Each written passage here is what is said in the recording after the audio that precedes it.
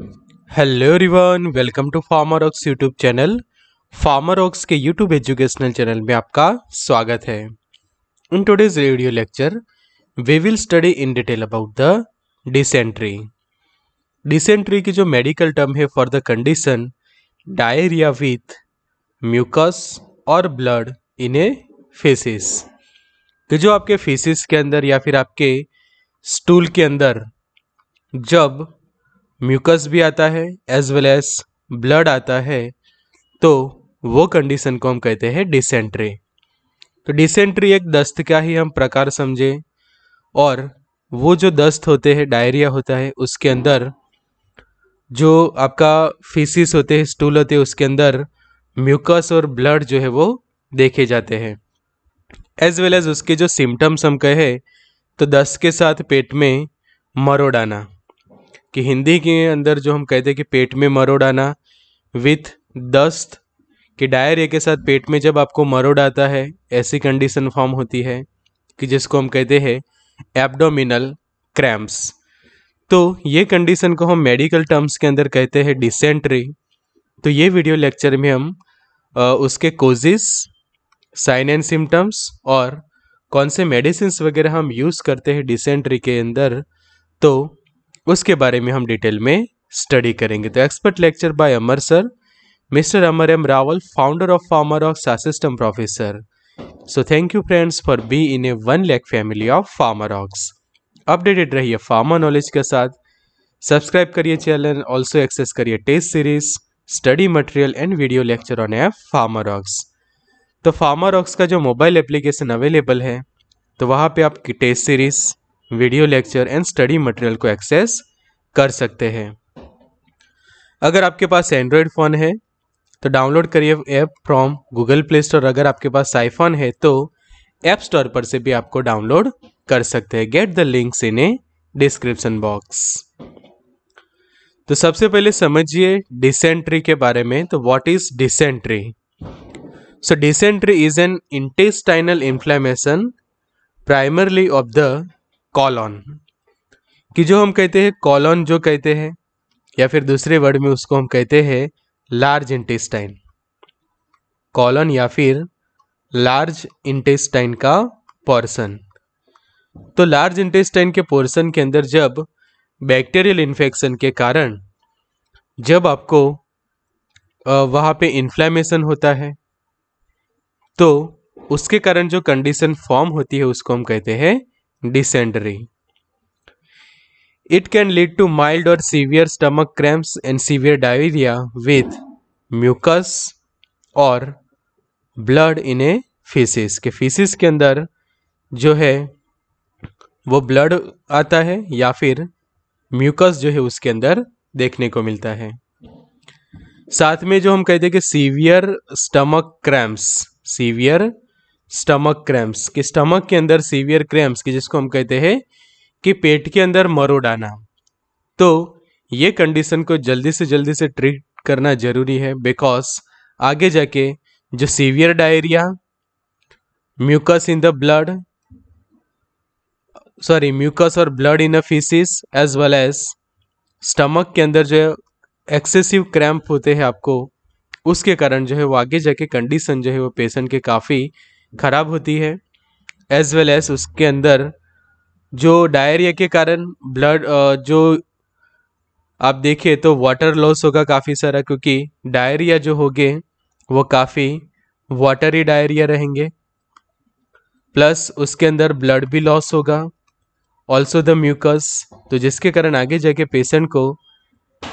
Dehydration होने की संभावना है। तो Without adequate hydration, it can be fatal. and infection with the Shigella bacillus or bacterium is the most common cause. तो ये होने का जो मोस्ट कॉमन कोज हम देखें रीज़न देखें तो जो infection with the Shigella bacillus जो सीगेला नाम के जो बैसिलस बैक्टीरिया होते हैं उसके इन्फेक्शन के कारण ये होता है और ये इन्फेक्शन के कारण इंटेस्टाइन के अंदर हो सकता है इन्फ्लेमेशन और इसी के कारण आगे जाके जो है वो ब्लड आता है फिसिस के अंदर म्यूकस भी फॉर्म होता है सीवियर डायरिया होते हैं एंड सीवियर स्टमक क्रैम्प्स होते हैं तो इसके लिए रिस्पॉन्सिबल है सीगेला जो बेसिलस बैक्टीरियम है, उसका इन्फेक्शन और ये इन्फेक्शन के कारण यूजली होता है इंटेस्टाइनल इन्फ्लेमेशन और वो स्पेशली अफेक्ट करेगा आपके कॉलन को कि जो हमारा है लार्ज इंटेस्टाइन और उसके कारण वाटरी डायरिया हो सकते हैं। तो ये है main introduction about the dysentery तो डिसेंट्री के जो कोजेस देखें तो सबसे पहले तो जो बेसिलरी डिसेंट्री होता है bacillary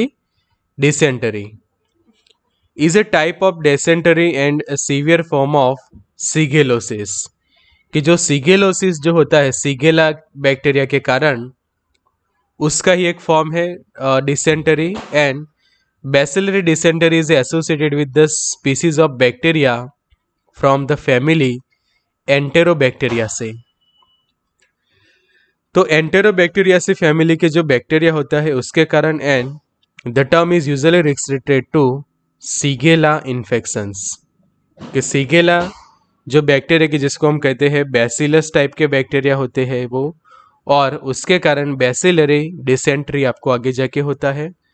तो most common causative microorganism हम देखें तो that is Shigella and shigellosis is cause by one of the severe several type of Shigella bacteria तो ये बैक्टीरिया की जो फैमिली होती है वो एंटेरोबैक्टीरिया सी होती है। एंटेरोबैक्टीरिया से कि जो यूजली आपके इंटेस्टाइन के अंदर इन्फेक्शन करते हैं तो यहाँ पे हम देख सकते हैं ये बैक्टीरिया जो है दैट इज़ सीगेला तो ये अच्छे से आपको याद रखना है व्हाट आर द कोजिस दूसरे हम जो, समझो हम कोजेस देखे तो dysentery is most common cause by the first that is Shigella bacteria तो ये तो एक टॉप कोजेस तो है ही। उसके अलावा हम देखें तो जो अमीबा होते हैं माइक्रो ऑर्गेनिजम्स कि यहाँ पे ये जो देख सकते हैं आप, अमीबा एज वेल एज यहाँ पे भी आप जो देख सकते हैं this all are the amoeba. तो ये अमीबा के कारण भी आपको आगे जाके जो है वो डायरिया की कंडीशन होती है, और उसमें से जो है वो डिसेंट्री फॉर्म होता है। सो dysentery is common spread through अब स्प्रेड कैसे होगा? तो ये दोनों तो हमें पता चल गया कि ये दो माइक्रो ऑर्गेनिज्म के कारण आपको जो है वो डिसेंट्री हो सकते यहाँ पे जो हम देखते सकते हैं दीज आर द बैक्टीरिया और ये है सीगेला और जो नीचे देख रहे हैं these are both are the amoeba तो dysentery is often spread through contaminated food और वाटर कि समझो कि ये जो बैक्टीरिया ये और अमीबा के कारण फ़ूड और वाटर के अंदर समझो कि कॉन्टेमिनेशन हुआ है और वो कॉन्टेमिनेटेड फ़ूड और वाटर आप लेते हैं तो आपको डिसेंट्री हो सकता है। Poor hand washing by infected people sir समझो कि इन्फेक्टेड पीपल अच्छे से हैंड वॉश नहीं करते तो उनके द्वारा दूसरे लोगों को भी ये फैल सकता है। Swimming in a contaminated water such as lake और पूल्स कैसे स्विमिंग पूल और लेक के जहाँ पे वाटर जो है वो कॉन्टामिनेटेड है with this type of micro organism तो वो इन कॉन्टामिनेटेड वाटर के कांटेक्ट में आके आपको ये हो सकता है और physical contact with infected person तो ये सब है कोजिस ऑफ़ ए डिसेंटरी तो कोजिस के बाद जो हमें नेक्स्ट जो सीखना है वो है साइन एंड सिम्टम्स तो सबसे पहले तो डायरिया विथ बेली क्रैम्प्स कि जो हम कहते हैं कि एब्डोमिनल पेन्स हम कह सकते हैं। एब्डोमिनल जो क्रैम्प्स होते हैं आपको, पेट में मरोड़ाना जो कहते हैं कि जो स्टमक का जो पोर्शन होता है, वहाँ पे सबसे ज़्यादा आपको जो है वो क्रैम्प्स जैसा होता है, कि पेट में मरोड़ाना। फिर फीवर होता है पेशेंट को as well as nausea and vomiting होती है कि ये जो पेशेंट जो हम देख रहे हैं कि नोजिया एंड वॉमिटिंग उसके अंदर एक कॉमन है ब्लड और म्यूकस इन ए स्टूल तो स्टूल के अंदर जो है वो ब्लड एंड म्यूकस जो है वो फॉर्म होता है। एनीमिया हो सकता है बिकॉज़ ब्लड लॉस होता है पेशेंट को अंदर तो काफ़ी दिनों तक समझो कि ऐसी कंडीशन होती है तो काफ़ी ब्लड लॉस भी होता है और उसके कारण एनीमिया हो सकता है क्रैम्प्स होते हैं। Abdominal bloating weight loss and dehydration are the main sign and symptoms of a dysentery अब बात करें नेक्स्ट हम डायग्नोसिस की तो डायग्नोसिस तो एक तो फ़िज़िकल एग्जामिनेशन से हो सकता है। मेडिकल हिस्ट्री आप ले सकते हैं पेशेंट की, फिर उसको अच्छे से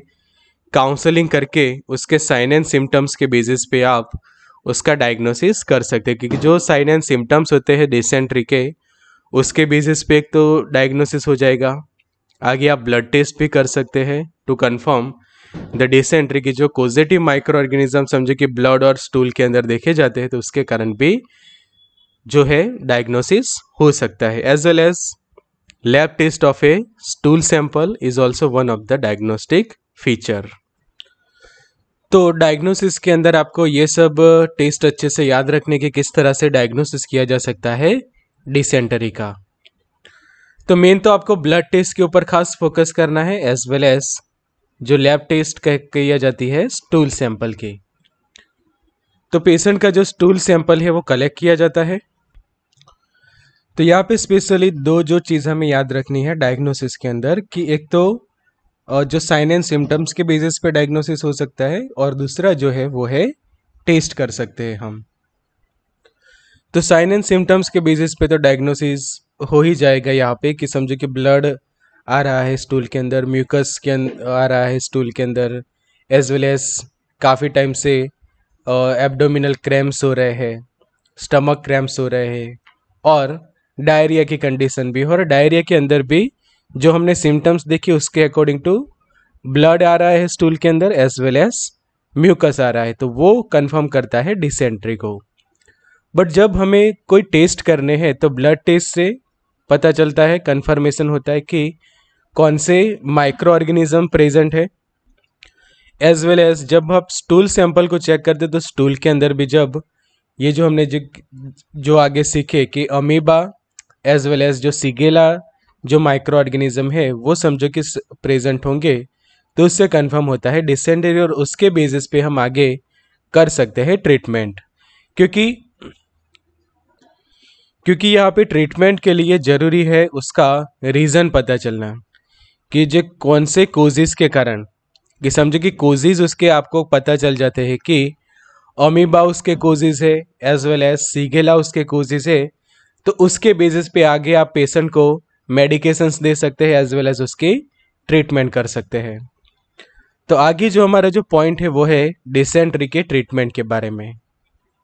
तो ट्रीटमेंट तो सबसे पहले दो तरीके से की जाती है, जो हमने ऑलवेज आपको सिखाया है कि एक तो उसके कोजिस के बेसिस पे हम ट्रीटमेंट करते हैं, कि उसका कोजिस जो है, उसका जो रीज़न कि रीज़न के बेसिस पे ट्रीटमेंट होती है, और सेकंड उसके सिम्टम्स के बेसिस पे।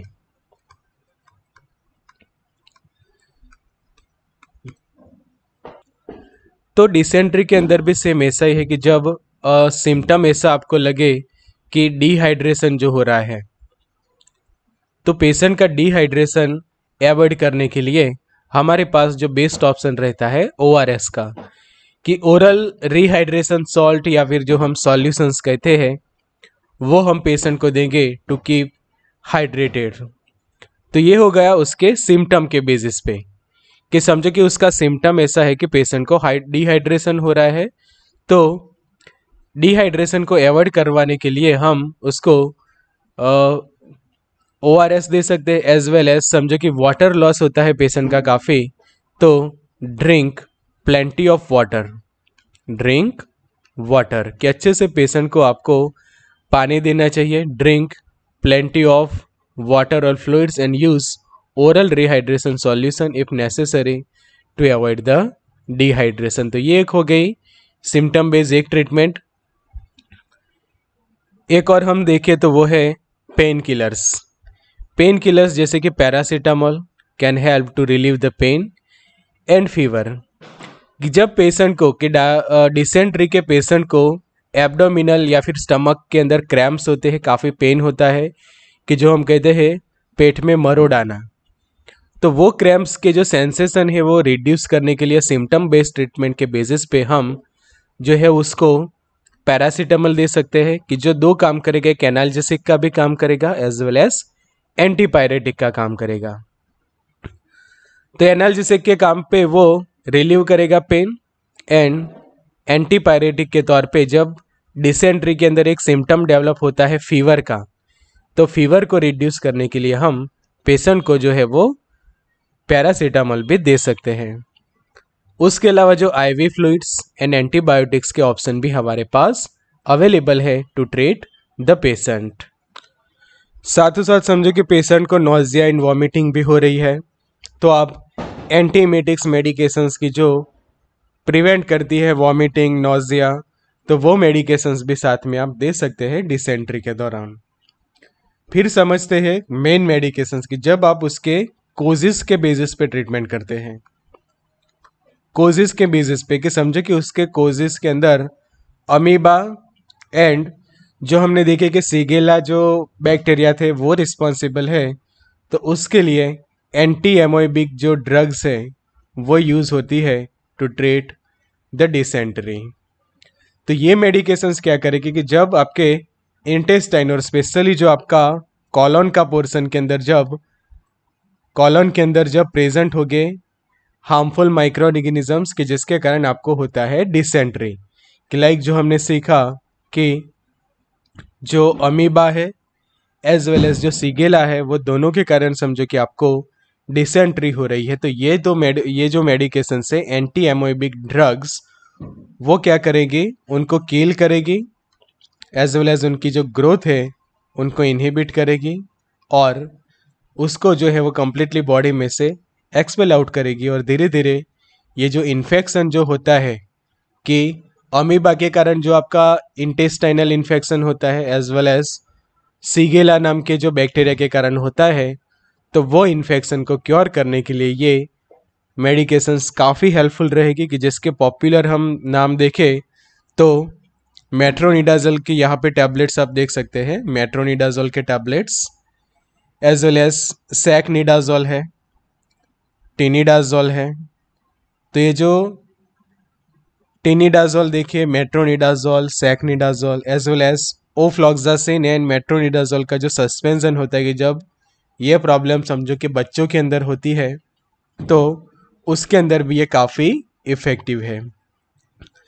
एज वेल एज ये काफ़ी एक फ़ेमस प्रोडक्ट है एंटेरोक्विनॉल एंटेरोक्विनॉल की जो स्पेशली इस टाइप के जो डायरिया एंड डिसेंट्री होते हैं, उसके अंदर काफ़ी पॉपुलर मेडिकेशन है और जिसके अंदर मेन जो हम मेडिसिन का है एक्टिव फार्मास्यूटिकल इंटीग्रेडियंट तो दैट इज़ क्विनी क्विनियोडोक्लोर जो है, वो यूज़ होता है। तो अब जानते हैं डिटेल में एंटी एमोबिक ड्रग्स के बारे में तो सबसे पहले जो टिश्यू एमोबिसाइड्स जो हम कहते हैं टिश्यू एमोबिसाइड्स की जो क्या करती है स्पेशली कील करती है। स्पेशली किल करती है कि जो इन्फेक्टेड होने के लिए जो रीज़न जो हम देखें कि जो पॉजिटिव माइक्रो ऑर्गेनिज्म हमने देखे कि जो सीगेला है या फिर अमीबा है, उसको कील करेगी और उनको बॉडी में से कम्प्लीटली एक्सपेल आउट करेगी। तो टिश्यू एमोबिसाइड्स के अंदर पॉपुलर मेडिकेशंस हम देखें तो बहुत intestinal and extra intestinal amoebiasis तो जिसके अंदर nitroimidazoles metronidazole, tinidazole, secnidazole, ornidazole and satranidazole. ये मेडिकेशंस इतने पॉपुलर है कि जो डिसेंट्री की जब कंडीशन प्रोड्यूस होती है तो उसके अंदर जो हम कहे पावरफुल मेडिकेशन जो हम कहे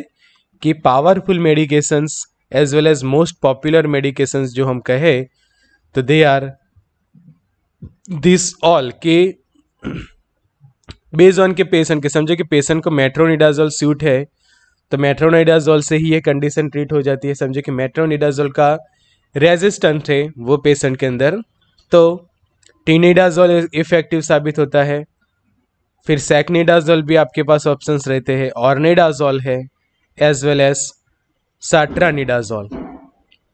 तो ये सभी मेडिकेशंस नाइट्रोइमिडाजोल्स हम कह सकते हैं कि जो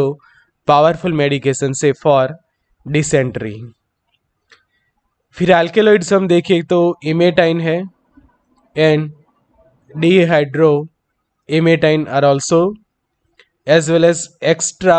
intestinal amoebiasis के अंदर क्लोरोक्विन दिया जाता है। एक्स्ट्रा इंटेस्टाइनल एमोबायोसिस और ये जो बात की हमने ऊपर बहुत intestinal as well as extra intestinal तो इंटेस्टाइन के अंदर और इंटेस्टाइन के बाहर, दोनों टाइप के एमोबायोसिस इन्फेक्शन के लिए,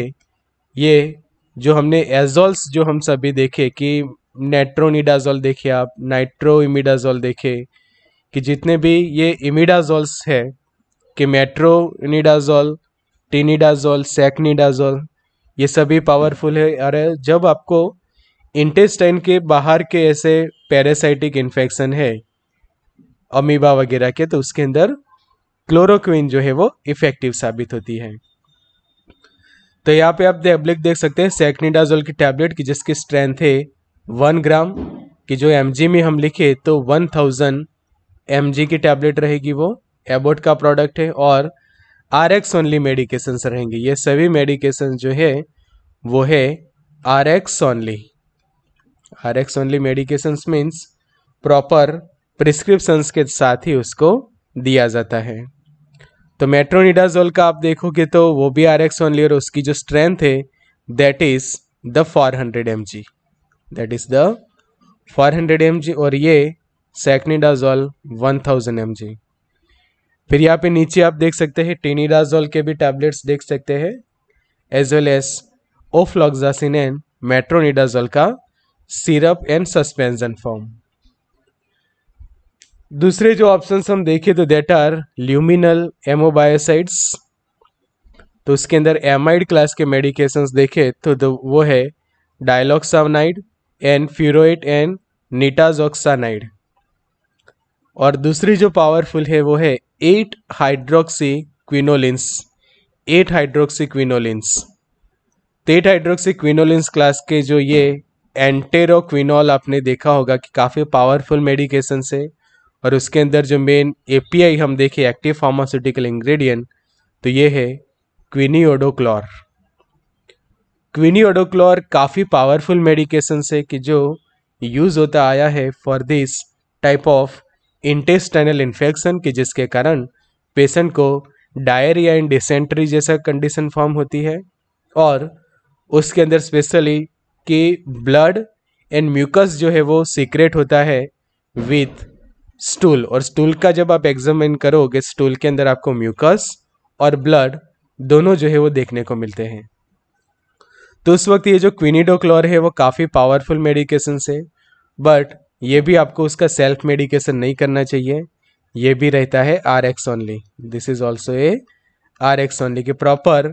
प्रिस्क्रिप्शन के साथ प्रॉपर एडवाइस के साथ ही आपको ये मेडिकेशन को यूज़ करना है।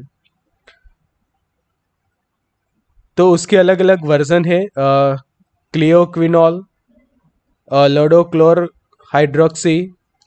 chloro hydroxy quin है डाईहाइड्रो हाइड्रोक्सी क्वीन है। तो ये सब आप देख सकते हैं कि आइडोक्लोर आइडोक्लोरो हाइड्रोक्सिन